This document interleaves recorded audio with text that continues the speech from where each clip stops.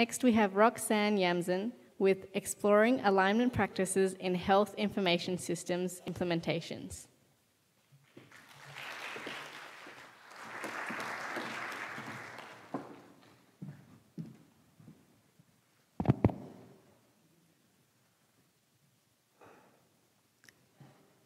I bring news too, actually.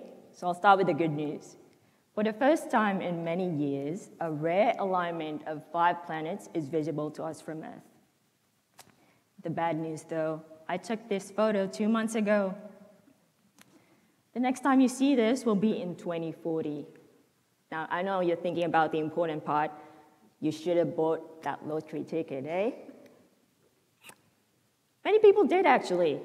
Because globally across cultures, we share this collective belief that good things, even the improbable, can happen when things align.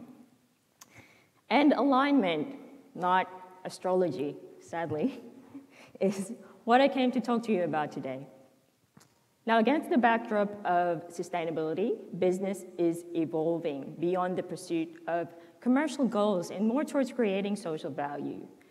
But the challenge of creating social value is that conventional organizations may not be accustomed to this way of doing business, um, let alone be structured for it.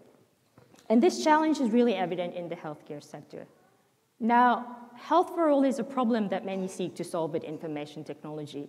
And when successful, the benefits are immense. Technology can break through geographical and even socioeconomic barriers to make healthcare more accessible in theory. In reality, though, 70%, and this is a global rate, 70% of Health IS implementations fail. And in my research, I argue that by understanding alignment practices on a grander scale, we can address these astronomical failure rates. I mean, think about it. How many of you here have ever worked in a group? And did you experience any difficulty at all? Now take that difficulty and multiply it to as many organizations you reckon need to work together to make a functional health system. In New South Wales, for instance, give or take 400 hospitals. And if we add peripheral health services, community pharmacies alone, there are 6,000 of those. Imagine aligning that. So technology is only ever one part of this equation. Yeah? We need an integrated approach to reap the benefits of information technology in healthcare.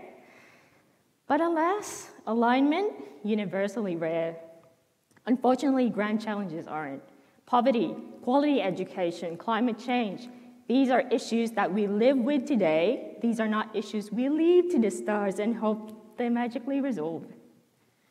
We need to understand alignment practices where a constellation of organizations are involved. Because good things happen when things align. And more importantly, we cannot wait till 2040 to bring universal healthcare to all. Thank you.